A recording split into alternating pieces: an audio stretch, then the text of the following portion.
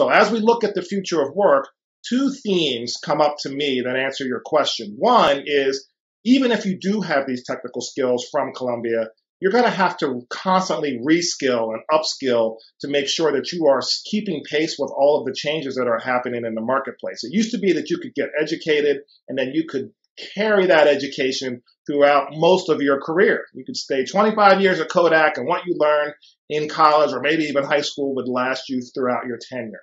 Now the cycle is changing so quickly that whatever you learn in Columbia, you're going to have to go back and retool and refresh. You may even have to pivot to a completely other functional area.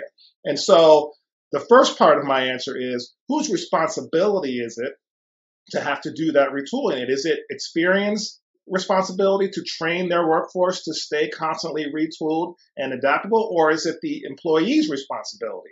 And my research is showing that it's the employee's responsibility. So either you as a full-time employee make sure that you stay refreshed and retooled and you can go back to Columbia or some other source to do that. And Experian certainly can have resources around training, or you will be replaced by somebody else who does have those skills, or Experian or their company will go out and into the gig economy and get contractors who have that experience. So that's something that we have to think about. The other is the soft skills. So in addition to having all these technological skills and technical and applied analytical skills, who has the soft skills to be able to work with the technology?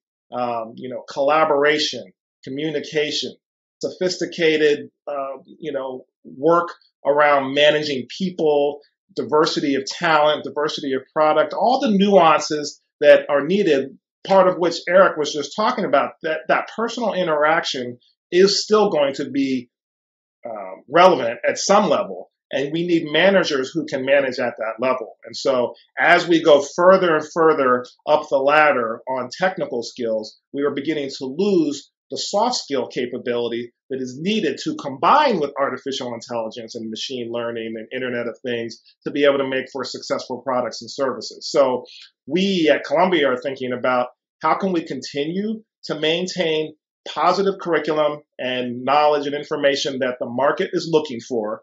How can we give those students an opportunity to come back for lifelong learning throughout their careers as they be, as they need to retool? And then also, how can we give them the soft skills in terms of management, communication, collaborating with people, managing for complexity and change? All those soft skills are, are very much necessary too. And that's not what universities are leading with. They're leading with the technical skills because that's what people want to buy. But then we're finding in the field they need to go back and get the soft skills to be successful and move up the executive ranks.